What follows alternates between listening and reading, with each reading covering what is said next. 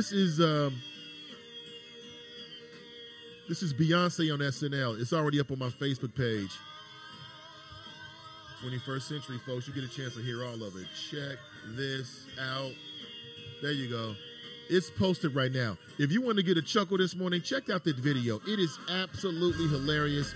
One of the funniest skits that I think that SNL has done since Eddie Murphy left or Will Ferrell. Yeah, yeah, since Will Ferrell left. They haven't been funny since then, but this kills it. And basically, let me set it up for you until you see it.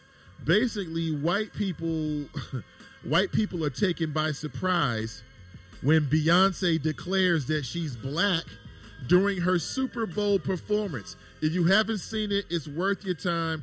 It's about two minutes. Speaking of time, that's my time. My name is Nathan Ivey. I'm live, I'm local, I'm vocal. I'll be with you tomorrow morning at 7 a.m. I support those that support me. And until next time, take care of yourself, and I'm out.